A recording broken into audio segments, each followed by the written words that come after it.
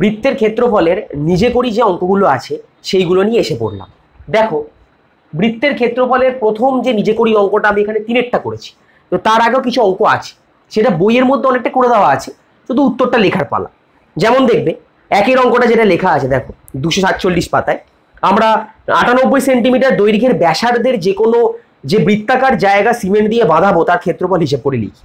যা, বৃত্তাকার জায়গাটির ক্ষেত্রফল পাই ইন্টু আটানব্বই এর হোল স্কোয়ার বর্গ সেন্টিমিটার, বাইশের সাত পাইকে আমরা লিখতে পারি, ইন্টু আটানব্বই ইন্টু আটানব্বই বর্গ সেমি, তার পাশে ফাঁকা জায়গা আছে। সেটার উত্তর হবে আমি বলে দিচ্ছি। তোমরা উত্তর যদি দেখে নিতে পারো, নিজে করি, শেষের থেকে সেখান থেকে বসাতে পারো। ওটার উত্তর আছে, তিরিশ হাজার একশো চুরাশি বর্গ সেন্টিমিটার। তিরিশ হাজার একশো চুরাশি বর্গ সেন্টিমিটার এখানে বসে যাবে। ওকে, তারপরের লাইনে দেখো, দু একটা। যে বৃত্তের ব্যাসের দৈর্ঘ্য আঠাশ সেমি, তার ক্ষেত্রফল হিসেব করে লিখি। তাহলে বৃত্তের ব্যাসের দৈর্ঘ্য যদি আঠাশ সেমি হয়, ব্যাস যা হয়, ব্যাসার্ধ তার অর্ধেক হয়। তাহলে ব্যাসার্ধের দৈর্ঘ্য কি হবে? আঠাশের অর্ধেক চোদ্দ সেন্টিমিটার।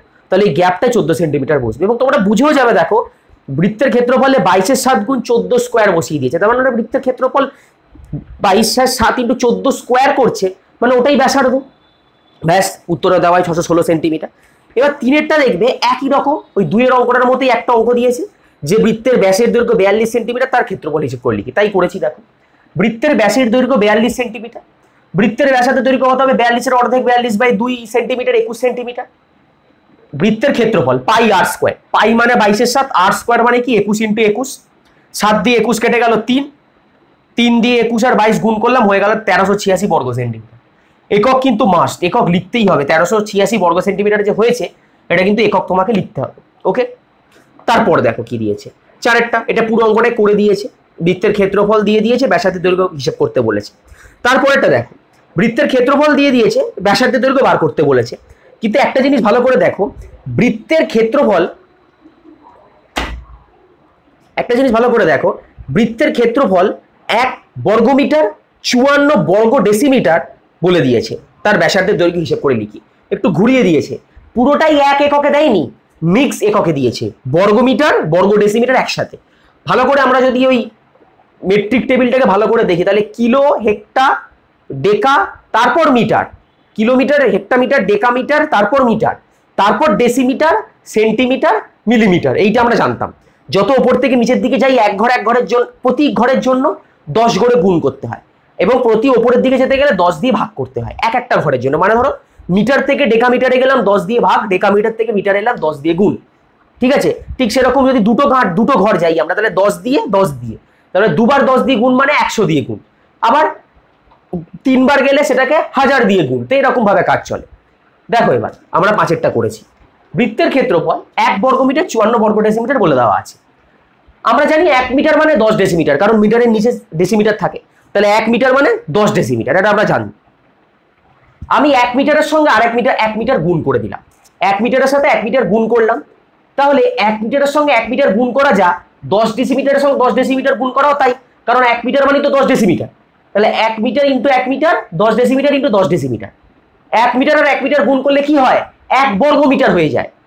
এক একে এক এক বর্গ মিটার মিটার গুণ মিটার বর্গ মিটার দশ আর দশ গুণ করলে একশো ডেসিমি ডেসিমি গুণ করলে হয় বর্গ ডেসিমিটার তার মানে আমরা কি পেলাম দেখো? এক বর্গ মিটার মানে একশো বর্গ ডেসিমিটার কি করে পেলাম দেখলে? কীভাবে এইভাবে আমাদেরকে পেতে হবে। আমাদের আমরা এইভাবেই এরকম যদি মিক্সড একক দেওয়া থাকে, মেশানো আমাদেরকে এইভাবে আলাদা করে নিতে হবে। মানে যে কোনো একটা এককে নিয়ে যেতে হবে। আমি এখানে করছি, সবকটাকে বর্গ ডেসিমিটারে নিয়ে চলে যাচ্ছি। কারণ মিটার বড় ডেসিমিটার ছোট। এবং প্রত্যেক এইরকম মেশানো এককের অঙ্কের মধ্যে সবসময় ছোট এককে যদি তুমি নিয়ে চলে যাও, তোমার সব থেকে বেশি সুবিধা হয়। ঠিক আছে? ছোট এককে যদি তোমরা নিয়ে চলে যাও। মানে মিটারের থেকে বড় ডেসিমিটার ছোট, তাই আমি বর্গ মিটারকে বর্গ ডেসিমিটারে নিয়ে চলে যাব দেখো এবার। এক বর্গ মিটার একশো বর্গ ডেসিমিটার কোশ্চেনে দেওয়া আছে কি? এক বর্গ মিটার চুয়ান্ন বর্গ ডেসিমিটার ওকে অতএব এক বর্গ মিটার চুয়ান্ন বর্গ ডেসিমিটার মানে এক বর্গ মিটারের জায়গায় একশো যেহেতু বার করেছি, আর চুয়ান্ন তো চুয়ান্নই ছিল, তাহলে একশো আর চুয়ান্ন যোগ করে একশো চুয়ান্ন বর্গ ডেসিমিটার আমাদের পুরো এক, পুরোটাই বর্গ ডেসিমিটারে চলে ঠিক আছে? এবার আমাদেরকে বার করতে বলেছে ব্যাসার্ধের দৈর্ঘ্য ব্যাসার্ধের দৈর্ঘ্য। চলো এবার। তাহলে ব্যাসার্ধের দৈর্ঘ্য ধরে নিলাম আর ডেসিমিটার তাহলে ক্ষেত্রফল আমরা কি জানি? ব্যাসার্ধ যদি আর হয়, ক্ষেত্রফল পাই আর স্কোয়ার একক কি হবে? বর্গ ডেসিমিটার এবার প্রশ্নানুসারে এইটাই তো একশো চুয়ান্ন, কারণ বলে দেওয়া আছে বৃত্তের ক্ষেত্রফল এক বর্গ মিটার চুয়ান্ন বর্গ ডেসিমিটার ওটা থেকে আমরা পেয়ে গেছি একশো চুয়ান্ন বর্গ ডেসিমিটার আর ধরে পাই আর স্কোয়ার হয়েছে, আমি এমন আর বার করতে চাই, যার জন্য একশো চুয়ান্ন হয়। তাহলে আমি পাই আর স্কোয়ার ইকুয়াল একশো চুয়ান্ন করে দেবো, তাহলে আর এর মানটা চলে আসবে। পাই আর মানে পাই মানে বাইশের সাত সাতের দিকে গুড় হয়ে উঠল, বাইশে ভাগ হয়ে নামলো, কাটাকাটি হয়ে পড়ে নিল সাত, আর একটা সাত সাত গুণ সাত। তার মানে কি, আসলে সাতের স্কোয়ার পড়ে রয়েছে এখানে। এখানে আমার পড়ে রয়েছে সাতের স্কোয়ার, ঠিক আছে? তার মানে আর স্কোয়ার সমান সাতের স্কোয়ার, আর সমান সাত, ঠিক আছে? তোমরা অনেকে প্রশ্ন করবে, দাদা, আর স্কোয়ার যদি সাতের স্কোয়ার হয় মানে আর স্কোয়ার সমান সাতের স্কোয়ার মানে আর সমান সাত। অনেক সময় দেখবে তোমরা কি করো, সাত সাতটি উনপঞ্চাশ করে দাও। তারপর আর স্কোয়ারের পর আর নামাও, প্লাস মাইনাস সাত দিয়ে।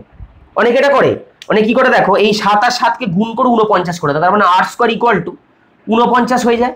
সেখান থেকে আর মানে কি হয়ে যায়? প্লাস মাইনাস সাত। কারণ প্লাস সাত প্লাস সাত গুণ করলেও উনপঞ্চাশ হয় মাইনাস সাত মাইনাস সাত গুণ করলেও উনপঞ্চাশ হয়। কিন্তু মাইনাস সাতটা বাদ চলে যাবে। কেন চলে যাবে? কারণ দৈর্ঘ্য কখনো নেগেটিভে মাপা যায় না, ঋণাত্মকে কখনো দৈর্ঘ্য মাপা যায় না। তাই এই মাইনাস সাতটা বাদ চলে যাবে। যদি তোমরা উনপঞ্চাশ করে এটা না লেখো, দিয়ে তলায় লিখবে যে ঋণাত্মক দৈর্ঘ্য যেহেতু নেওয়া সম্ভব নয়, অতএব আর সমান সাত। আর যদি আর স্কোয়ার সমান পজিটিভ সাথে স্কোয়ার লিখে দাও, তাহলে আর সমান সাত লিখতে কোনো সমস্যা নেই। ঠিক আছে? তাহলে ব্যাসার্ধের দৈর্ঘ্য বেরিয়ে গেল সাত ডেসিমিটার দেখো, কেন ডেসিমিটার লিখলাম? আর কেউ ডেসিমিটার ধরেছিলাম, তাই ডেসিমিটার লিখলাম। তোমরা যদি মি সব কটাকে মিটারে নিয়ে চলে যেতে, তাহলে এখানটা কি হতো? পয়েন্টে চলে আসতো এবং এটা হয়ে যেত পয়েন্ট সেভেন মিটার ঠিক আছে? কোনো জেদ থেকে এটা সোজা। মানে আমার মতে ছোটতে একক নিয়ে চলে গেলে এই সুবিধাটা পাওয়া যায়। সে যদি কোনো কারণে এমন কিছু ভ্যালু বেরিয়ে গেল যা ছোট, তার ফলে পয়েন্টের কোনো ব্যাপার থাকবে না। একেবারে গোটা নাম্বারে চলে আসবে ডেসিমিটারে যেমন চলে ওকে অনেক সময় প্রশ্ন ঘুরিয়ে দেয় যে ব্যাসার্ধের দৈর্ঘ্য মিটার এককে প্রকাশ করো। আমরা সেভেন ডেসিমিটার বার করে ইকুয়াল টু দিয়ে পয়েন্ট সেভেন মিটার লিখে দিতে হবে। ওকে চলো, তারপর একটা দেখো। আমাদের পাড়ার বৃত্তাকার পার্কের পরিধি দুশো চৌষট্টি মিটার। হিসাব করো পার্কের ক্ষেত্রফল। তো বইতে করে দেওয়া আছে, দেখব অঙ্কটা অনেকটাই। যে বৃত্তাকার পার্কের ব্যাসার্ধের দৈর্ঘ্য আর মিটার হলে শর্তানুসারে আমরা কি জানি টু পাই আর সমান দুশো চৌষট্টি, কারণ আর যদি ব্যাসার্ধ হয় টু পাই আর পরিধি, তাহলে টু পাই আর সমান দুশো চৌষট্টি। সেখান থেকে আর এর ভ্যালু চলে আসবে, দেখবে বেয়াল্লিশ। সেখান থেকে আর এর ভ্যালু আসবে বেয়াল্লিশ। কেন দেখো, এবার বেয়াল্লিশ বেরিয়েছে, তার পরের লাইনে দেখো, যে কেন বেয়াল্লিশ বেরোনোর পর যে বিয়াল্লিশটা বসিয়েছে বুঝতে পারবে। বৃত্তাকার পার্কের ক্ষেত্রফল পাই গুণ আর স্কোয়ার বর্গমিটার, বাইশের সাত মানে পাই আর স্কোয়ারের জায়গায় দেখো বিয়াল্লিশ ইন্টু বিয়াল্লিশ। আর স্কোয়ার মানে দুটো আর আর ইন্টু আর আর এর জায়গায় বিয়াল্লিশ। আর যেহেতু বিয়াল্লিশ বেরিয়েছে, ওটা যদি করো, তোমাদের উত্তর আসবে পাঁচ পাঁচ চার চার। দারুণ উত্তর আসবে একটা। পাঁচ পাঁচ চার চার, পাঁচ হাজার পাঁচশো চুয়াল্লিশ। ঠিক আছে? ওকে তারপর সাতেরটা দেখো। ওপরের অঙ্কটার মতোই করা আছে। যে বৃত্তাকার জমির পরিধি চুয়াল্লিশ মিটার হলে ক্ষেত্রফল হিসেবে করে লিখি। তাই করেছি, দেখো। বৃত্তের পরিধি চুয়াল্লিশ মিটার, ধরি বৃত্তের ব্যাসার্ধ আর মিটার, তাহলে বৃত্তের পরিধি হবে টু পাই আর আমাকে এমন আর বার করতে হবে যার জন্য পরিধি চুয়াল্লিশ হয়, অতএব টু পাই আর সমান চুয়াল্লিশ করে দিলাম, তাহলে সেই আটটা পেয়ে যাবে, পেয়ে যাব। যার যার জন্য পরিধি হয় চুয়াল্লিশ। তাহলে টু ইন্টু বাইশের সাত ইন্টু আর সমান চুয়াল্লিশ। আর সমান এই বাইশের সাতকে দিকে উল্টে উঠবে সাত বাই বাইশ আর দুই দিয়ে তলায় ভাগ হয়ে যাবে। কাটাকাটি করে পড়ে থাকে সাত মিটার। তাহলে ব্যাসার্ধ চলে এলো আমাদের সাত মিটার। কিন্তু আমাদের তা জানতে চাইনি। ক্ষেত্রফল জানতে চেয়েছে। তাহলে ক্ষেত্রফল কি হবে? পাই গুণ আর স্কোয়ার পাই মানে বাইশের সাত আর মানে হচ্ছে সাত গুণ সাত। আর এক জায়গায় সাত বসিয়ে দিলাম, সাত সাত কেটে গেল, সাত বাইশ একশো চুয়ান্ন। বর্গমিটার আমাদের চলে এলো। কত? বর্গমিটার ক্ষেত্রফল। ওকে? এবার, আটেরটা। আটেরটা দেখো, আটেরটা বেশ ভালো অঙ্ক দিয়েছে যে আমাদের কোশ্চেনটা ভালো করে পড়ে না এটা বলয়- বলয়াকৃতি একটা পাত আছে, তার ভিতরের বাইরের ব্যাস দেওয়া আছে। বলয়টিতে কত সেমি বর্গ সেমি লোহার পাত আছে, ছবি এঁকে হিসাব করি। পাশে ছবিটা দেখতেই পাচ্ছ। সব হিসাব তোমরা ভালো করে বুঝতে পারবে। নিচে এসে দেখবে কি হয়েছে? প্রথমে ব্যাসের দৈর্ঘ্য আঠেরো, তারপর সেখান থেকে ব্যাসার্ধের দৈর্ঘ্য। সেখান থেকে কি বার করেছে? ক্ষেত্রফল। তারপর বার করেছে লোহার পাতের বাইরের ব্যাস, সেখান থেকে ব্যাস, বাইরের ব্যাসার্ধের দৈর্ঘ্য, সেখান থেকে ক্ষেত্রফল। তারপর দুটোর মধ্যে পার্থক্য বার করেছে। লাস্টের উত্তর যে গ্যাপটা আছে, সেই গ্যাপটার গ্যাপটার মধ্যে বসবে, আটের উত্তরটা বসবে পাঁচশো পঞ্চাশ বর্গ সেন্টিমিটার। কিন্তু আমি অঙ্কটা বোঝাবো কি করে বোঝাবো দেখো? আমি এই রকমই অঙ্কটা আছে, নয়ের অঙ্কটা। ঠিক আটের অঙ্কর মতোই নয়ের অঙ্কটা একই রকম। আমি নয়ের অঙ্কটা তোমাদেরকে লিখে বুঝিয়ে দেবো, করে বুঝিয়ে দেবো যে কি করে আটের অঙ্কটা হচ্ছে। মানে কি কি করে আটের অঙ্কটা করেছে আর কি, যে ক্ষেত্রফল কেন পার্থক্য বার করল, কেন ক্ষেত্রফল দুটোর মধ্যে বিয়োগ করে দিয়েছে এবং লাস্টে কীরকম ষোলো যোগ নয়, ষোলো মাইনাস নয় কেন করেছে। সেটা নয়ের অঙ্কটা ধরে তোমাদেরকে বুঝিয়ে দেবো, কারণ নয়ের অঙ্কটা আর আটের অঙ্কটা সেম ঠিক আছে? চলো নয়ের অঙ্কটা দেখি। পাতা দুশো উনপঞ্চাশে নয়ের অঙ্কটা দেখো। আমরা নয়ের অঙ্কটা করব। সেটার মাধ্যমেই আমরা আটের অঙ্কটা বুঝব, পাতা দুশো আটচল্লিশে। ঠিক তার আগের অঙ্কটাই দেখবে নয়ের আগের অঙ্কটা একই রকম। আমরা নয়ের অঙ্কটা করব, করে আটের অঙ্কটা বুঝব কীভাবে করা হয়েছে। নয়ের অঙ্কটা আমি করেছি। কোশ্চেনটা পড়ি। যদি লোহার বলয়টির ভিতরে ও বাহিরের ব্যাসের দৈর্ঘ্য যথাক্রমে সত্তর সেমি ও বিয়াল্লিশ সেন্টিমিটার হতো, তাহলে বলয়টিতে কত বর্গ সেমি লোহার পাত থাকতো হিসেব করে লিখি। প্রথম কথা হচ্ছে, এখানে প্রশ্নে একটু ভুল দিয়েছে। লোহার বলয়টির ভিতরের ও বাহিরের ব্যাসার্ধ যথাক্রমে বলে ভিতরের ব্যাসার্ধ সত্তর আর বাইরের ব্যাসার্ধ বেয়াল্লিশ লিখে ফেলেছে। যথাক্রমে মানে কি? পর পর তাহলে ভিতরের ও বাহিরের সত্তর আর বেয়াল্লিশ মানে ভিতর সত্তর, বাইরের বেয়াল্লিশ। যেটা কখনো সম্ভব নয়। কখনো তুমি দেখেছ, এইটা হচ্ছে সেই ধরে নিলাম আমরা বলয়টা। তার বাইরের ব্যাসার্ধ, বাইরের ব্যাসের দৈর্ঘ্য কখনো ভেতরের ব্যাসের দৈর্ঘ্যের থেকে ছোট হতে পারে? হতে পারে না। অতএব এটা ভিতর ও বাহিরের ব্যাসের দৈর্ঘ্য যথাক্রমে বেয়াল্লিশ এবং সত্তর। মানে ভেতরেরটা ব্যাসের দৈর্ঘ্য হবে বেয়াল্লিশ বাইরেরটার হবে সত্তর। বা মানে বুঝতেই পারছ কেন? ভেতরেরটা ছোট, বাইরেরটা বড় তাই। এবার দেখো, অঙ্কটা করেছি। বলয় আকৃতি আমরা কি করে প্রথমত বলেছি যে এখানে কত লোহার পাত থাক কত বর্গ সেমি লোহার পাত থাকতো হিসেব করে লিখি তার মানে এই এই শেডেড রিজিয়নটা মানে এই যে এখানে এরকম দাগ দেওয়া আছে অংশটুকুর ক্ষেত্রফল আমরা জানতে চেয়েছি। আমরা কি করে বার করব? আমরা এই বাইরের ব্যাসের দৈর্ঘ্যযুক্ত এই যে বলয় মানে বৃত্তাকার ক্ষেত্র আছে, তার ক্ষেত্রফল বার করব। সেখান থেকে এই ভেতরের যেখানে দা কোনো দাগ নেই, ওই বৃত্তের মানে ওই ব্যাসের দৈর্ঘ্যের বৃত্তের ক্ষেত্রফল বাদ দিয়ে দেবো। তাহলে বাইরেটার থেকে যদি ভেতরেরটা আমি ক্ষেত্রফল বাদ দিয়ে দিই, তাহলেই আমরা এই টেরা দাগ টানা অঞ্চল বা শেডের অঞ্চলটার আমরা ক্ষেত্রফল পেয়ে যাব। তাই করেছি, দেখো। বলয়াকৃতি লোহার পাতের ভিতরের ব্যাসের দৈর্ঘ্য বেয়াল্লিশ। তাহলে ভিতরের ব্যাসের দৈর্ঘ্য যদি বেয়াল্লিশ হয়, তাহলে ব্যাসার্ধের দৈর্ঘ্য কত হবে? বেয়াল্লিশের অর্ধেক একুশ সেন্টিমিটার। তাই দেখো লিখেছি ভেতরেরটা একুশ সেন্টিমিটার। ঠিক আছে? বলয়াকৃতি লোহার পাতের ভিতরের তাহলে ক্ষেত্রফল কত? আমরা কি জানি ক্ষেত্রফলের সূত্র? পাই আর স্কোয়ার পাই মানে বাইশের সাত যেহেতু ভেতরের ব্যাসার্ধের দৈর্ঘ্য একুশ, একুশের স্কোয়ার বর্গ সেন্টিমিটার ওকে বলয়াকৃতি লোহার পাতের বাইরের ব্যাসের দৈর্ঘ্য। বাইরেরটা কত? সত্তর ছিল। প্রশ্নে বলা আছে মানে ঘুরিয়ে দিয়েছে। আমি বলেছি যে, আমি তোমাদের প্রশ্ন মানে প্রশ্ন করার পরেই বলে দিয়েছি যে, ভেতরেরটা হবে বিয়াল্লিশ, বাইরেরটা সত্তর। তাহলে বাইরেরটা সত্তর সেন্টিমিটার যদি ব্যাসের দৈর্ঘ্য সত্তর সেন্টিমিটার হয় তাহলে বাইরের ব্যাসার্ধের দৈর্ঘ্য কত? সত্তর বাই দুই, পঁয়ত্রিশ সেন্টিমিটার। তাহলে বলয়াকৃতি লোহার পাতের বাইরের ক্ষেত্রফল কত? পাই আর স্কোয়ার, পাই পঁয়ত্রিশের স্কোয়ার। এখানে পঁয়ত্রিশ সেন্টিমিটার বেরিয়ে গেছে, এটাই হচ্ছে বাইরেটার ব্যাসার্ধ। তাহলে বাইশ বাই সাত পঁয়ত্রিশের স্কোয়ার বর্গ সেন্টিমিটার। একক কিন্তু খেয়াল রাখবে। তারপর বলাটিতে লোহার পাত আছে। তাহলে আমরা এই বাইরেটা থেকে ভেতরটা বাদ দিয়ে দেবো। তো বাইরেটা থেকে ভেতরটা আমরা বাদ দিয়ে দিলাম, এত বর্গ শ্রেণি আছে। দেখো দুটোর মধ্যেই বাইশের সাত আছে। তো বাইশের সাতটাকে আমি বাইরে কমন নিয়ে চলে এলাম। ঠিক আছে? এবার বাইশের সাত যদি আমি কমন নিয়ে চলে আসি, তাহলে পড়ে আছে কি? পঁয়ত্রিশের স্কোয়ার আর একুশের স্কোয়ার তাহলে পঁয়ত্রিশের স্কোয়ার মাইনাস একুশের স্কোয়ার ভালো করে খেয়াল করে দেখো, এই দুটো দেখতে সেই এ স্কোয়ার মাইনাস বি স্কোয়ারের অভেদের মতো না? পঁয়ত্রিশ স্কোয়ার মাইনাস একুশ স্কোয়ার যেখানে এ মানে পঁয়ত্রিশ বি মানে একুশ। তাহলে A square minus B square অভেদ যখন আমরা সলভ করি, কি করে করি? A plus B into A minus B না? তাই করেছি দেখো।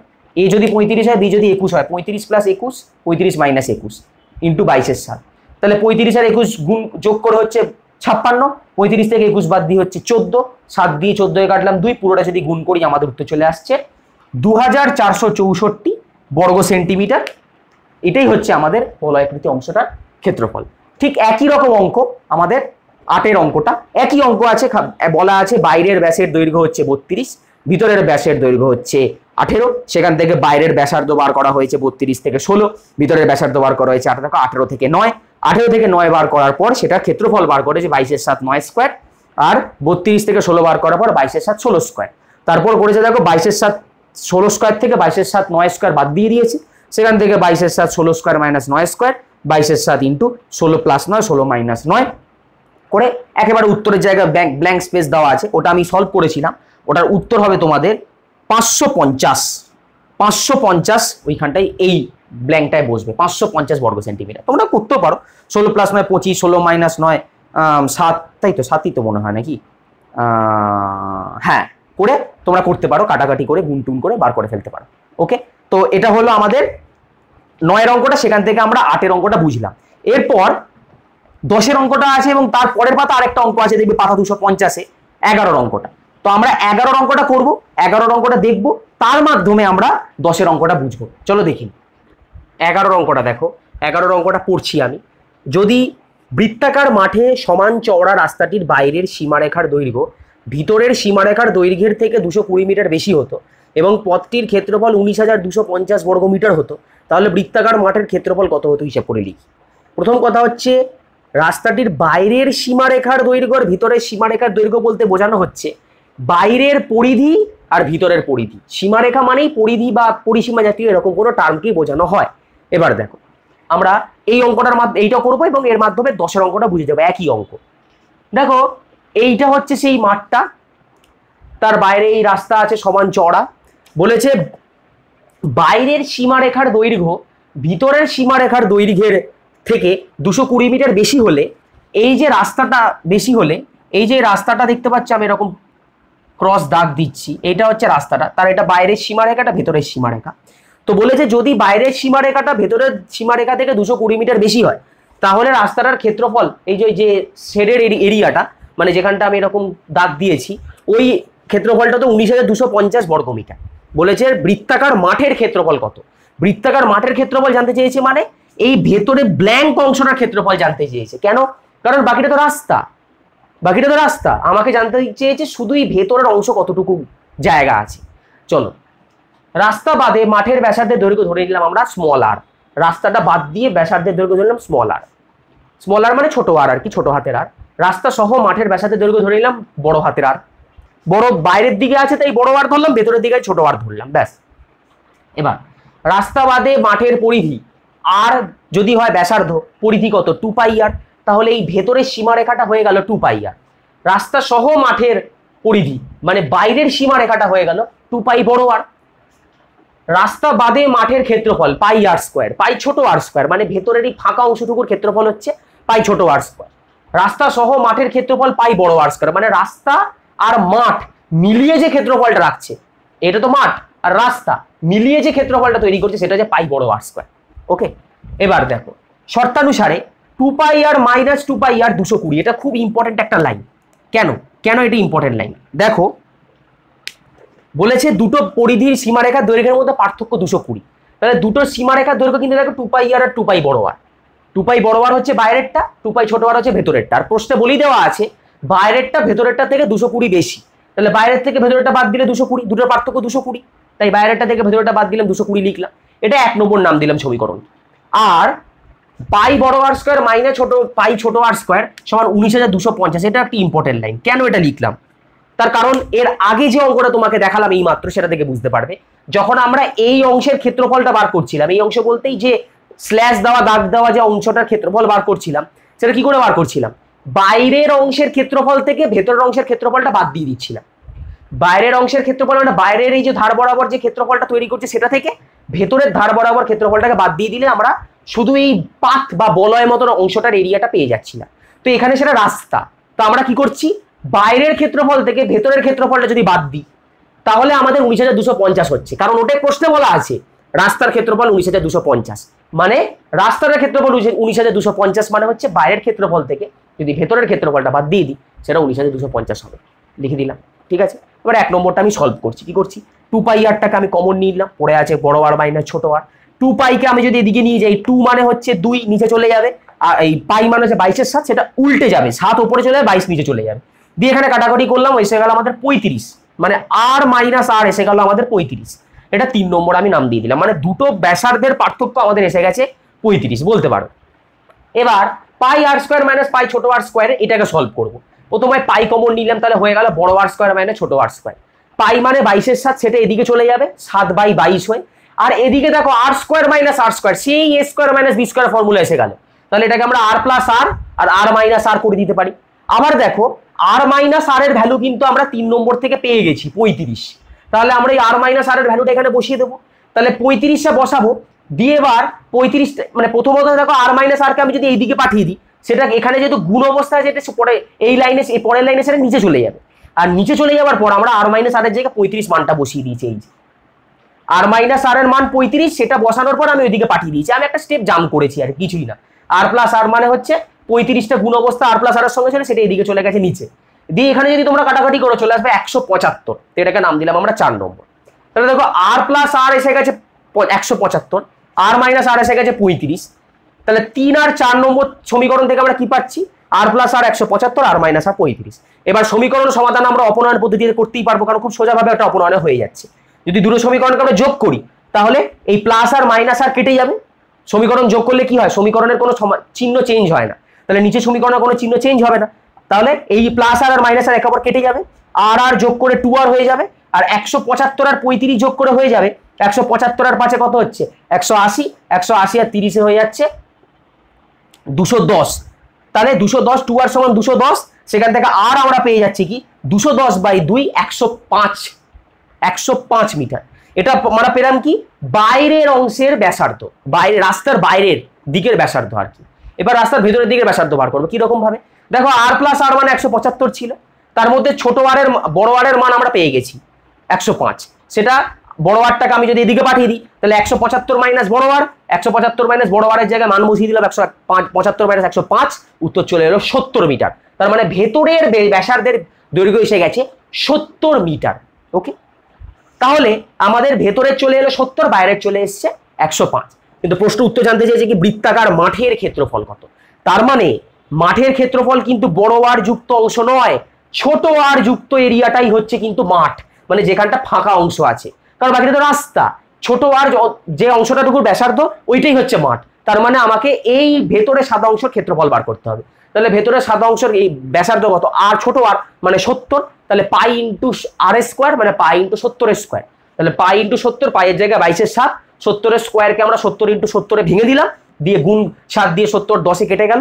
পুরো যদি গুণ করি আমরা চলে আসবে পনেরো হাজার চারশো বর্গ মিটার তার মানে এই ভেতরের অংশটুকুর ক্ষেত্রফল হচ্ছে পনেরো হাজার চারশো বর্গ মিটার ঠিক সেম ভাবে দশের অঙ্কটাও কিন্তু একই রকম ভাবে হবে। কিছু ব্ল্যাঙ্ক জায়গা আছে, যেমন দেখবে রাস্তা সহ মাঠের পরিধি সেইখানটা হবে তোমার রাস্তা সহ যেহেতু তাই পাই বড় আর টু পাই বড় আর, রাস্তা সহ মাঠের ক্ষেত্রফল হবে পাই বড় আর স্কোয়ার এখান থেকে সলভ করে নিচে যে আর প্লাস আর একশো সাতচল্লিশ ফাঁকা। দেখো, ওপরে কিন্তু তিন নম্বর আর চার নম্বর ইকুয়েশন থেকে একশো সাতচল্লিশ আর একুশ পেয়ে গেছে, তাও এখানে ফাঁকা রেখে দিয়েছে। কেন জানি না, এই বইগুলো কিরম বানিয়েছে একটা। যাই হোক আর প্লাস আর সমান এক সাতচল্লিশ আর মাইনাস আর আমরা বসিয়ে দিলাম একুশ। তারপর নিচে আমরা অপনয়ন পদ্ধতিতে সলভ করে আর সমান একশো বাষট্টি মাইনাস বাই দুই, সেটা হবে চুরাশি। কারণ দেখো পরের লাইনেই আবার পরের ডান দিকে দাগ দিয়ে তুলেছে। আর প্লাস আর সমান সাতাশি, একশো সাতচল্লিশ, আর সমান একশো সাতচল্লিশ মাইনাস চুরাশি। তো চুরাশিটা থেকে এসছে? এই একশো আটষট্টি বাই দুই থেকে এসছে। ব্যাস, এবার লাস্টে সমাদের মাঠের ক্ষেত্রফল বাইশের সাত ইন্টু তেষট্টি ইন্টু তেষট্টি, সাত দিয়ে তেষট্টিকে কেটে দেবে, সাত নং তেষট্টি। পুরোটা যদি গুণ করে তাহলে চলে আসে বারো হাজার চারশো চুয়াত্তর। বারো হাজার চারশো চুয়াত্তর বর্গমিটার চলে আসবে এখানে। তাই তো আমার হয়েছে। হ্যাঁ বারো হাজার চারশো চুয়াত্তর বর্গমিটার আমার, এটার উত্তর এসছে। ঠিক আছে? তো এইখানে আমাদের এই বৃত্তের ক্ষেত্রফলের এগারো অবধি নিজে করে কিছু অঙ্ক ছিল, তারপর বারো, তেরো, চোদ্দ, পনেরো, ষোলো, সতেরো, এগুলো খুব ইম্পর্টেন্ট অঙ্ক। এই রকম টাইপেরই অঙ্ক আমরা অনুশীলনী করার সময় মানে কোষে দেখি করার সময় আমরা ওগুলো বুঝব। এখানে কিছু আমাদের আইডিয়া কাজে লাগানো হয়েছে, কিছু সম্পাদ্য, কিছু কিছু উপপাদ্যের ধারণা আমাদের এখানে কাজে লাগানো হয়েছে। তার ফলে আমরা এই অঙ্কগুলো করতে পেরেছি। এই বারো থেকে সতেরো অঙ্কগুলো বইতে করা আছে। এই রকম টাইপেরই অঙ্ক কোষে দেখির মধ্যে আছে। আমরা যখন কোষে দেখি করব, তখন আমরা কিন্তু এই অঙ্কগুলোর থেকে লিঙ্ক টেনে টেনে কোষে দেখিগুলো করার চেষ্টা করব, ঠিক আছে? তারপর আমাদের চলে যাচ্ছি বৃত্তের ক্ষেত্রফলের। পরবর্তী যে ওই কিছু বৃত্তের অংশের টুকরো থেকে যে জিনিসগুলো আমাদের করা- হয়েছে দেখে বৃত্তের অর্ধেক, তারপর বৃত্তের চার ভাগের এক ভাগ, তারপর বৃত্ত কলা তৈরি, মাঝখানে ষাট ডিগ্রি কোণ, বিভিন্ন রকম কোণ দিয়ে দেওয়া থাকলে তাহলে আমাদের কি করে আমরা বৃত্ত কলার বৃত্ত চাপের যে দৈর্ঘ্যটা বার করব এবং বৃত্ত কলার ক্ষেত্রফল বার করব। সেটা আমরা ফর্মুলাগুলো দেখব। সে হচ্ছে দুশো, কত পাতা থেকে? দুশো দুশো বাহান্ন পাতা, দুশো তিপ্পান্ন পাতায় সেরকম কিছু নেই।